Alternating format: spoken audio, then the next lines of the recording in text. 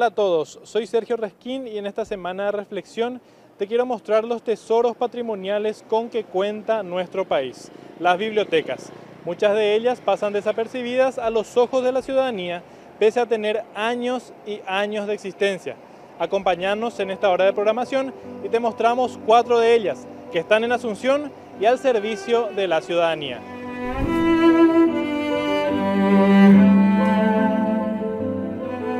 Iniciamos este viaje por la Biblioteca Municipal Augusto Roabastos, ubicado en el Centro Cultural Carlos Colombino, Manzana de la Ribera. Este espacio, que actualmente alberga unos 40.000 ejemplares en todas las áreas del saber, fue constituido el 14 de abril de 1944. Esta biblioteca, dependiente de la comuna Asuncena, ocupó varios espacios a lo largo de los años, según nos cuenta el referencista Alberto Manuel Sisa. Este año cumplimos el 80 aniversario de creación de la biblioteca y funcionó en la primera sala de lectura en la antigua municipalidad de Asunción que estaba sobre Palma y Montevideo, con una breve colección de, de libros de aproximadamente 134 volúmenes. A partir de ahí empezó a crecer nuestra cantidad de volúmenes de libros. Fue en el año, como le digo, 1944, eh, bajo la administración municipal del intendente en aquel entonces, Alfonso dos Santos. A partir de ahí funcionó muchos años en esa primera sala de lectura en la municipalidad de Asunción, para luego pasar a otras, eh, a otras ubicaciones que se dieron a lo largo del año. Entre ellos también un tiempo estuvo en la Casa de la Independencia, luego pasó a, la, un ala de la, del Teatro Municipal, eh, donde es actualmente la, la sala, eh, el café literal, el café del Teatro Municipal. La Biblioteca Municipal Augusto Roabastos se instaló aquí en el año 1993 en la Casa Vertúa una de las nueve casas históricas que componen hoy la Manzana de la Ribera. La Biblioteca Augusto Roabastos lleva el nombre del célebre escritor recién desde el 2005, año de su fallecimiento. Fue un homenaje póstumo de las autoridades municipales al galardonado con el Premio Cervantes por su contribución a la literatura paraguaya. El espacio cuenta con piezas históricas y representa un lugar ideal para las horas de lectura. Eh, nuestra biblioteca es para público en general, tiene una amplia variedad temática de libros en todas las áreas del conocimiento. Y es visitado por estudiantes, por gente que se acerca para, para investigar, para hacer eh, trabajos prácticos que les piden en los colegios, en las universidades. En fin, estamos abiertos para toda la ciudadanía. Generalmente suelen venir alumnos de medicina, de filosofía, que queda acá cerca y pasan a hacer su tarea porque le es como el aire acondicionado y que está también cerca de su facultad. Hugo Echeverría, radicado en el barrio Las Mercedes de Asunción, comentó que es un asiduo visitante de la biblioteca Augusto Roabastos. Elogió la presencia de un espacio de lectura abierto de lunes a lunes. Sí, vengo continuamente acá porque gracias a ello aprendí muchísimas cosas, sobre, sobre todo historia del Paraguay, cultura general, en fin, muchas cosas aprendí y me gustaría eh, aconsejar a los jóvenes especialmente que vengan a estudiar, que vengan a leer, a aprender, conocer nuestra historia, nuestra costumbre, nuestra música, es la guardia. Justamente estoy leyendo un libro de este de José Asunción Flores, Memorias. Es un libro interesantísimo para que los jóvenes sepan eh, qué es la guarania, en qué año se inventó y quién inventó. Y, y a través también la cultura general que tenemos acá eh, por eso vengo siempre a leer, a instruirme y a aprender. Tenemos el split, dos split por falta de uno. Tenemos una comunidad excelente. El trato que nos da acá el, señor Alberto es muy bueno. O sea, todos los empleados que están acá son muy buenos. Eh, un buen trato. Da gusto leer realmente acá porque hay una paz espiritual. A pocas cuadras de la manzana de la Ribera hay otro espacio de lectura e investigación disponible a todo público. Se trata de la Biblioteca y Archivo Central del Congreso de la Nación, habilitado en junio de 2016. La Biblioteca y Archivo Central del Congreso de la Nación es un espacio que cuenta con 30.000 ejemplares en diferentes áreas del saber y casi 1.500 periódicos y revistas inventariados. Es un espacio que está abierto al público de lunes a viernes. La Biblioteca del Congreso es una biblioteca pública. Aparte de ser una biblioteca especializada en servicios parlamentarios, también funcionamos como una biblioteca pública. Eso significa que nuestra colección es de carácter enciclopédico, está destinada a todo público de todas, eh, vamos a decir, de, de todas las ramas podemos recibir acá desde una ama de casa, tenemos libro de cocina, tenemos talleres, hasta libros de medicina, química, comunicación, administración. Entonces está destinada a todo público.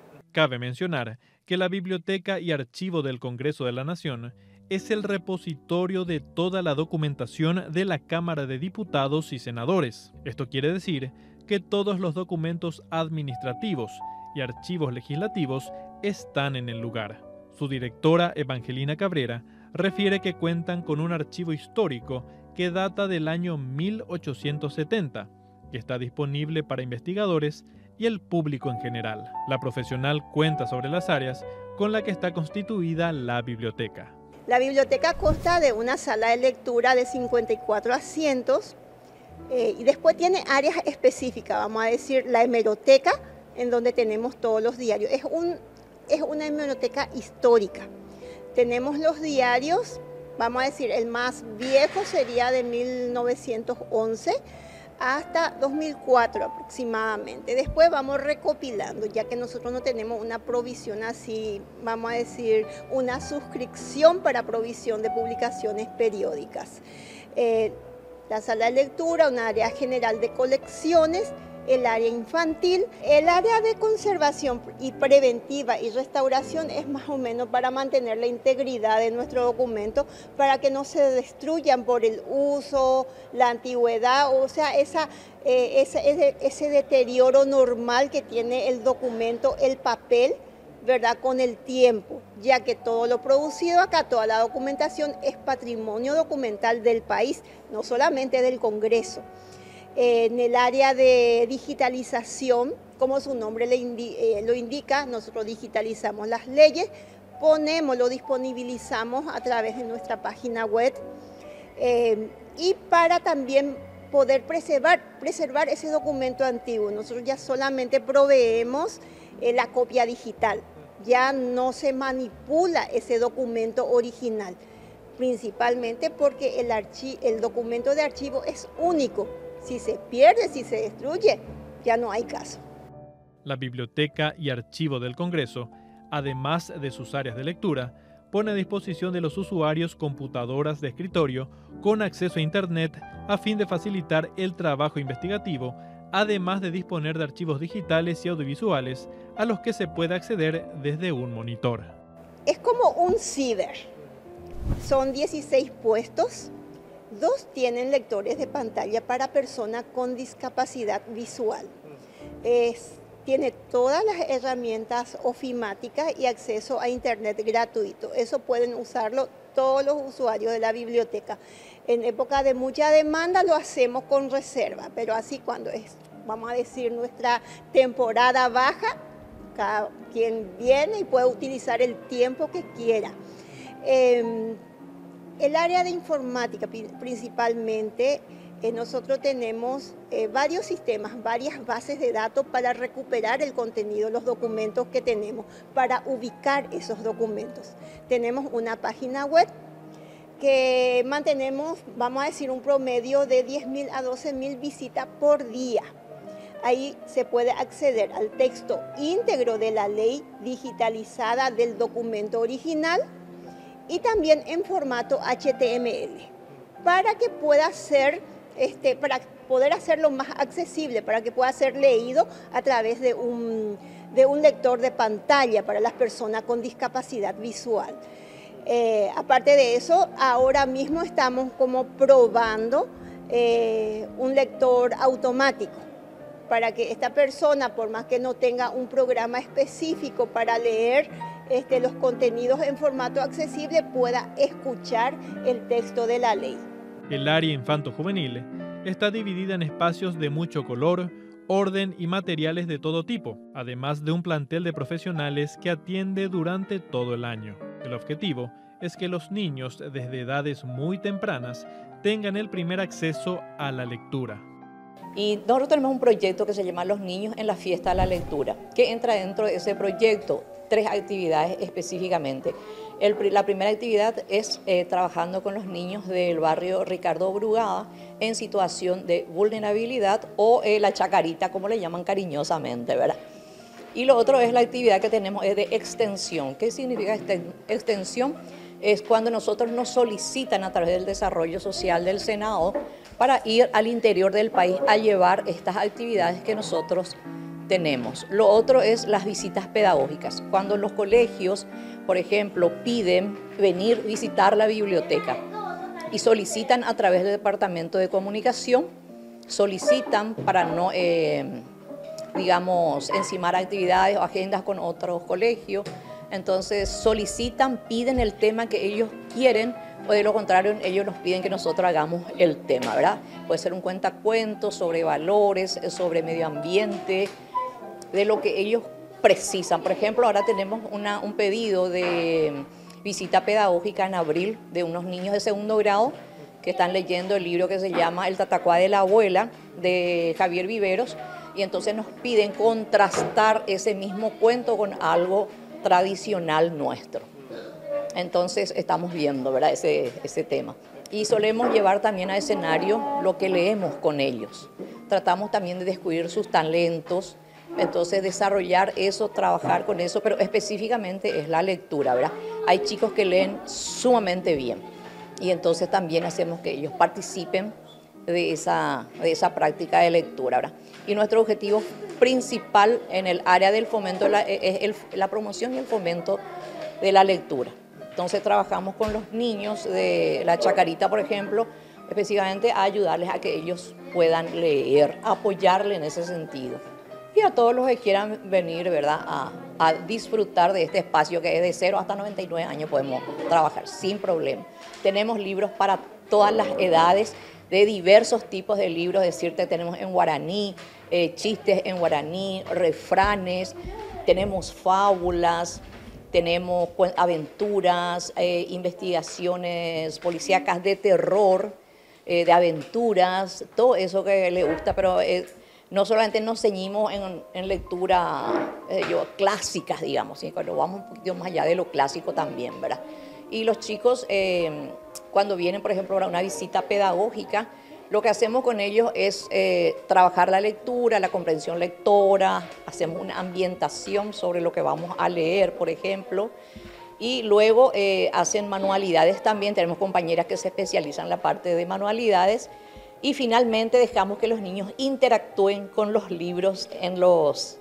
Eh, o sea, que ellos son libres de elegir los libros que a ellos más les gustan. La licenciada María Agustina Ortega, encargada del espacio infanto-juvenil de la Biblioteca del Congreso, explicó en qué consiste en la biblioteca el área de la imaginación y el área del conocimiento. Bueno, tenemos tres espacios. El primero es el, que le llamamos biblioteca o atención temprana.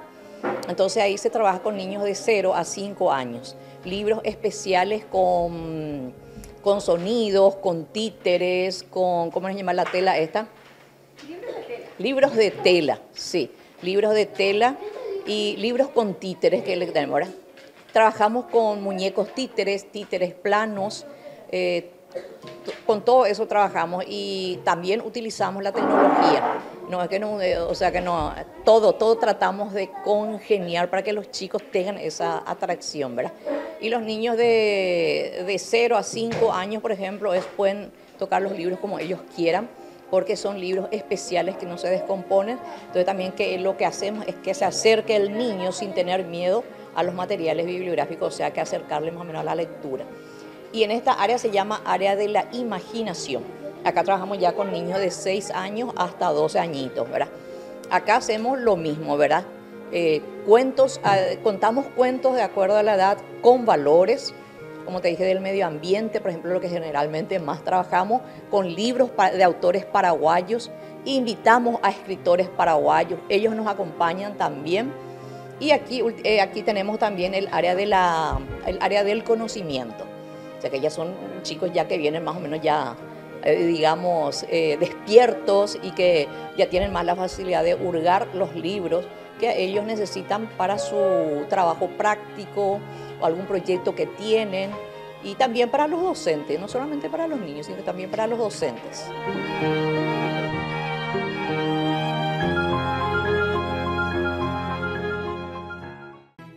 Esta biblioteca también atiende a niños con discapacidad a través del Club de Lectura Fácil, que abre sus puertas dos veces al mes desde marzo, ofreciendo una gran gama de material didáctico que permite el desarrollo de la imaginación.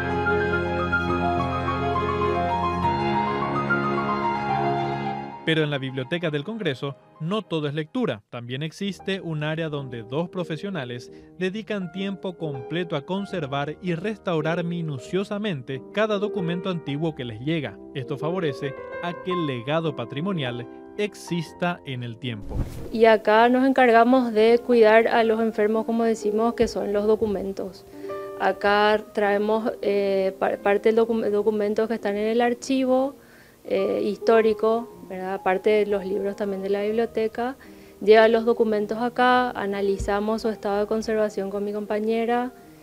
Eh, después de analizar tenemos una propuesta de trabajo, eh, armamos fichas, sacamos fotos y después ya entran a lo que sería eh, el tratamiento. Entonces siempre se empieza con la limpieza, siempre y cuando el documento esté en condiciones y hay diferentes tipos de procesos de limpieza, después se reparan, eh, si es que son libros y soportan una costura también se procede con el proceso de costura, eh, la encuadernación y bueno, y después vuelven a su, a su, a su archivo o si es que son documentos que no se digitalizaron, están aptos para la digitalización. Trabajamos con materiales de primerísima calidad que ya en estos seis años eh, pudimos lograr tener, ya tenemos un buen depósito de papeles, adhesivos, son papeles japoneses eh, diferentes con diferentes fibras, diferentes gramajes, diferentes colores. Y los adhesivos son también de buenísima calidad, son reversibles, que significa que si en, no sé, en 20 años vienen nuevos restauradores y dicen, bueno, esta reparación no me gustó, necesita otra más, o hay nuevas técnicas, porque siempre hay nuevas técnicas, dicen, bueno, voy a retirar esta reparación que hicieron en los años 2023, pueden retirar sin causar daño al soporte original. El tiempo es muy relativo en restauración, es un trabajo sumamente lento, delicado y que muchas veces uno tiene que saber parar porque a veces vos tenés un plan de decir, bueno, vamos a encuadernar esto.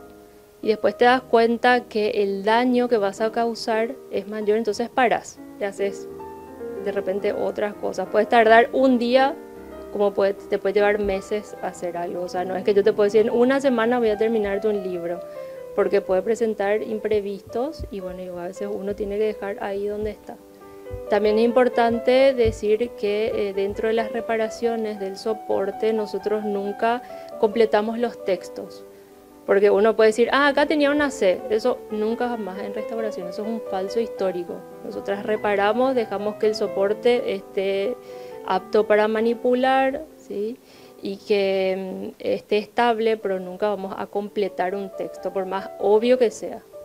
Eso no, ese tipo de trabajo no lo hacemos. Finalizando nuestro recorrido por la Biblioteca del Congreso, no salimos sin conocer su auditorio, también disponible de forma gratuita a la ciudadanía. La directora Evangelina Cabrera comentó sobre esta infraestructura y más lugares del edificio al servicio de todos. Una parte importante es el uso del salón auditorio de la biblioteca que fue creado ¿verdad? con la intención de trabajar en el fomento de la lectura destinado a niños y jóvenes principalmente. Pero vamos a decir, ponemos a disposición también ese espacio para presentaciones de libros, realizaciones de foros, seminarios, que sean de interés público, que sirvan, vamos a decir, para mejorar la calidad de vida del ciudadano, para que se informe mejor. Ese salón auditorio se puede usar gratuitamente, solamente eh, solicitándolo por correo o por teléfono, ¿verdad? Y luego que nosotros le damos el protocolo necesario, se formaliza eh, a través de una nota, pero eso ya una vez realizada la, reserva previa. Eh, como ya le dije, puede ser para presentaciones del libro, inclusive para emprendedores. Ofrecemos el espacio, la galería de la de la biblioteca para exposiciones, no solamente de obras de arte, sino que para exposiciones de artesanía, de fotografía, inclusive suelen realizar talleres al aire libre, acá en el, en, el eh, vamos a decir, en la galería, porque es un espacio muy lindo y principalmente desde el otoño tiene una, es muy agradable. Siguiendo con nuestro recorrido por las bibliotecas en Asunción, te vamos a presentar lo que es una verdadera joya de nuestro acervo cultural, la Biblioteca Nacional del Paraguay. Dependiente de la Secretaría Nacional de Cultura, la Biblioteca Nacional del Paraguay fue creada en el año 1887 mediante una ley promulgada por el entonces presidente general Patricio Escobar. Antes de ocupar su actual sede sobre las residentas Casi Perú, estuvo sobre las calles Eligio Ayala y Yegros hasta 1913. Luego ocupó las calles Presidente Franco y Oleari, actual sede de la Vicepresidencia de la República. Pasa acá en el año 1958, en este edificio actual, a instancias de la sugerencia que hizo en ese entonces Juan Emilio Oleari, nuestro gran poeta e historiador del Paraguay, cuando el gobierno argentino tuvo la idea de hacer primeramente en este lugar un colegio técnico. Entonces Oleari estuvo presente en ese momento y dijo, no, nosotros tenemos colegio técnico en Paraguay, lo que necesitamos es una biblioteca. ¿Por qué no equipan este edificio con muebles para biblioteca o estantes para libros o anaqueles y hacen una biblioteca? Y entonces el gobierno argentino accedió amablemente y hasta hoy día estamos en este edificio en las calles de las residentas Casi Perú. La Biblioteca Nacional ofrece una variada fuente de información a investigadores profesionales y estudiantes, refirió su director Javier Ortiz, quien comenta cuáles son las secciones que componen este centro. Tenemos aquí mismo, tenemos la sección hemeroteca, que es una de las hemerotecas donde se conservan tanto diarios, periódicos y revistas una de las más completas y antiguas de Sudamérica, por ejemplo. Tenemos otra sección eh, que es la sala de lectura que lleva el nombre del doctor Alfredo Viola y estamos por los 40.000 ejemplares de, de libros, básicamente. Esta meroteca tiene aproximadamente 300.000 ejemplares de diarios, periódicos y revistas en total. Después tenemos la agencia ISBN, donde damos el número internacional de libro para, Paraguay, por su sigla en inglés International Standard Books Number. Tenemos nuestra sección también de conservación, restauración y digitalización, donde se conserva todo lo que es papel, ¿verdad? Tanto de los libros como de los diarios que tenemos en nuestro acervo. Otras secciones que tenemos son, por ejemplo, la, la jefatura de gestión de bibliotecas públicas que a nivel nacional gestiona o dota a las bibliotecas de libros tanto a gobernaciones como municipalidades. Otra sección más es la de procesos técnicos, donde cuando llega un libro se procesa, se cataloga y pasa a la sala de lecturas para los usuarios. Dentro del patrimonio de la Biblioteca Nacional se encuentran las impresiones del primer periódico, El Paraguayo Independiente, que salió a las calles en 1845 en defensa de la soberanía nacional, al igual que esta maquinaria, que le diera vida a las ideas de gobierno mediante el material impreso. Esta imprenta construida en 1830 en Stuttgart, Alemania, fue incorporada al país por el expresidente Carlos Antonio López en 1844, según mencionó el director de la biblioteca. Otros ejemplares en edición similar también presentes son el I, Ecos del Paraguay y muchos otros. Acá tenemos el Paraguayo Independiente, el primer número edición facsimilar del sábado 26 de abril de 1945, Día del Periodista Paraguayo. Este es el primer número eh, impreso por la imprenta que vieron recientemente, ¿verdad? Y luego tenemos este diario que es muy, como se dice hoy día, muy icónico del periodismo paraguayo, el Cabisuí, el diario de guerra del Cabisuí. Esto, este diario se hizo en plena guerra de la Triple Alianza para dar fuerzas a las tropas paraguayas que luchaban en el frente de batalla. Fueron sus redactores, por ejemplo, Juan Crisóstomo Centurión, Fidel Maíz, Natalicio de María Talavera, nuestro primer poeta. O sea, los intelectuales, los mejores intelectuales que tuvimos en esa época escribían en el Cabisuí. También tenemos otro periódico que es, por ejemplo, El Centinela. También daba fuerza a las las tropas paraguayas en el frente de batalla en la guerra contra la Triple Alianza. Y otros periódicos también de la época, acá tenemos uno poco después del Paraguay Independiente, sale publicado eh, el Semanario de Aviso y Conocimientos Útiles de 1853 a 1868. Pero esto era más reglamento de gobierno, algunas que otras leyes del gobierno de Carlos Antonio López de esa época y luego ya con el Mariscal López a cargo del Paraguay. Eso es lo que tenemos aquí y por último le vamos a este es cultural. Eco del Paraguay es un diario también, pero más de una crítica literaria de la época, ¿verdad? De un ciudadano español llamado Ildefonso Antonio Bermejo, que había contratado don Carlos Antonio López eh, en Europa, en España específicamente, para que escriba este periódico.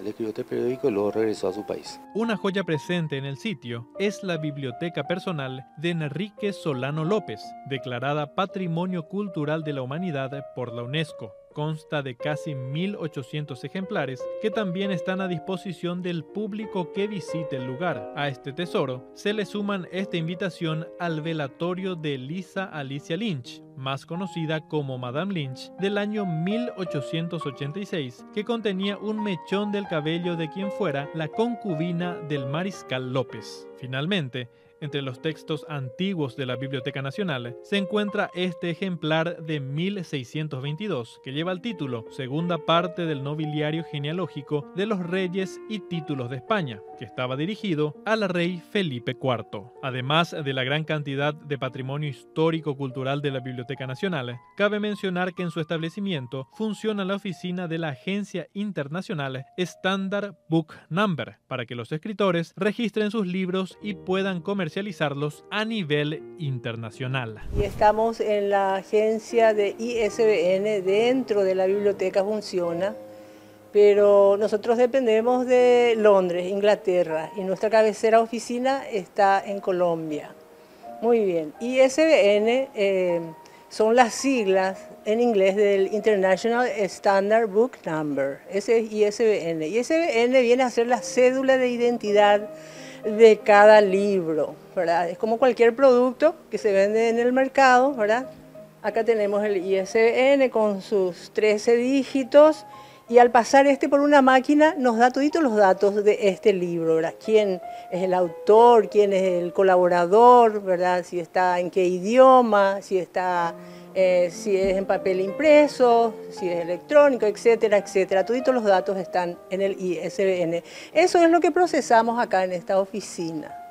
Usted está a punto de, de imprimir ya su libro, cuando ya está todo listo prácticamente, ¿verdad? Usted hace su solicitud de ISBN y en 48 a 72 horas de acuerdo ¿verdad? a la entrega de los documentos que requerimos, le entregamos su código de ISBN, el código de barras de ISBN.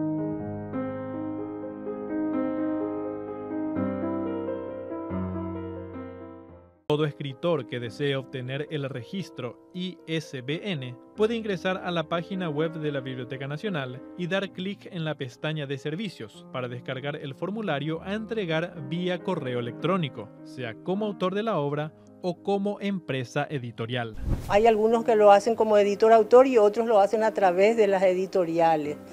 Entonces, por ejemplo, si va a ser editor-autor, entra entre los formularios y baja la ficha de editor-autor justamente. Y el otro es la ficha de registro de título.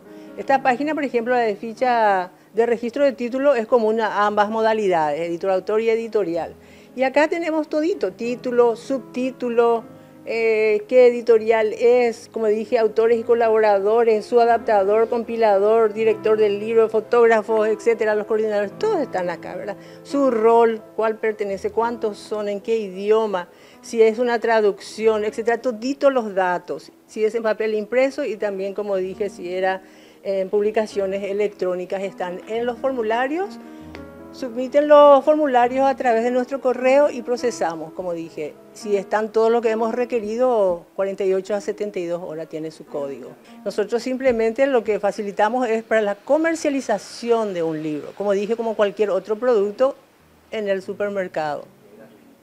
Y además hay que aprovechar, digo eso a todos los escritores, ¿verdad? que todavía lo hacemos en forma gratuita, ¿verdad? no como otros países vecinos que ya están cobrando por ISBN. Teniendo en cuenta que la Biblioteca Nacional del Paraguay depende de la Secretaría de Cultura, en su predio también funciona la oficina de la Red Nacional de Bibliotecas Públicas, cuyo objetivo es fortalecer a todas las bibliotecas que abren sus servicios a la comunidad. La jefa de gestión de bibliotecas, Octavio Campos de Vera, explicó cómo trabajan en este ámbito. La función principal de este departamento es fortalecer, como dije, las bibliotecas públicas a través de capacitaciones a los bibliotecarios, a través de asesoramiento técnico para creación de nuevas bibliotecas, eh, asistencia técnica para los bibliotecarios que de repente eh, quieran capacitarse eh, en, algún tema muy específico, sobre todo procesos técnicos. Y estamos también llevando adelante el proyecto de la ley del libro y la lectura que es fomento que se creó el año pasado, que salió la ley también.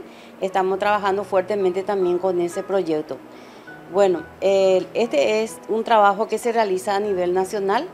En total tenemos 122 bibliotecas públicas eh, eh, oficiales y en total tenemos registrados 130 bibliotecas públicas que no son oficiales. Por ejemplo, con eso te digo que están las bibliotecas públicas privadas, están las bibliotecas comunitarias, que no está dentro de los oficiales. Oficiales le llamamos a los que son, que dependen directamente de los municipios, de las gobernaciones o de algún ministerio de, ya sea de educación, Ministerio de Relaciones Exteriores, todos ellos también cuentan con su biblioteca y también eh, dan servicios a los usuarios. Estos, estos libros son lo que nosotros hacemos, eh, preparamos para donación de acuerdo a los pedidos que vayan llegando.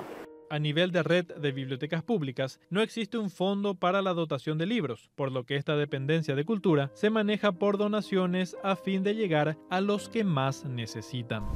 En nuestro paseo televisivo te hicimos conocer tres bibliotecas sostenidas por la Municipalidad de Asunción, el Congreso Nacional y la Secretaría Nacional de Cultura. Ahora te queremos mostrar una biblioteca que también es pública, pero cuya gestión es privada. Acompáñanos para conocerla. La Biblioteca Roosevelt del Centro Cultural Paraguayo Americano es un espacio de libre acceso que ofrece una amplia gama de libros en diferentes áreas. Su nombre es en honor a quien fuera el presidente de los Estados Unidos desde 1933 hasta 1945, el abogado y político Franklin Delano Roosevelt. Sus espacios de lectura resultan sumamente confortables y los ejemplares a los que es posible acceder están en los idiomas español e inglés. Esta biblioteca es una biblioteca pública que tiene 77 años de fue creado hace 77 años primero para brindar un servicio a las personas estadounidenses que venían al Paraguay y posteriormente se vio la necesidad de crear un espacio público que incluso hasta hoy en día es un poco difícil de encontrar, probablemente con los dedos de una mano encontramos bibliotecas públicas que tienen el servicio que tenemos aquí en la biblioteca de prestar los libros a domicilio, no es algo muy común y es el servicio tradicional por excelencia de la biblioteca. pero eso también hace que veamos un poco hacia adelante todo y tengamos servicios innovadores como bibliotecas virtuales, por ejemplo. Si una persona quiere venir a consultar un material, con toda la libertad puede hacerlo. Aquí estamos abiertos de martes de martes a sábado en realidad.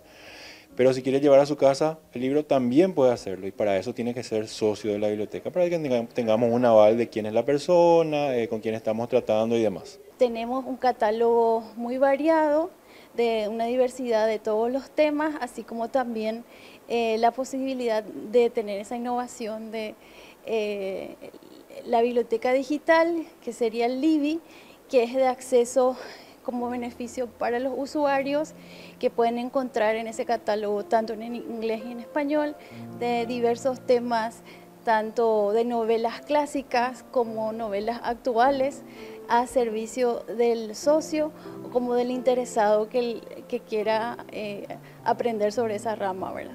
Aparte de libros en español y en inglés, tenemos la colección del país más completa en inglés.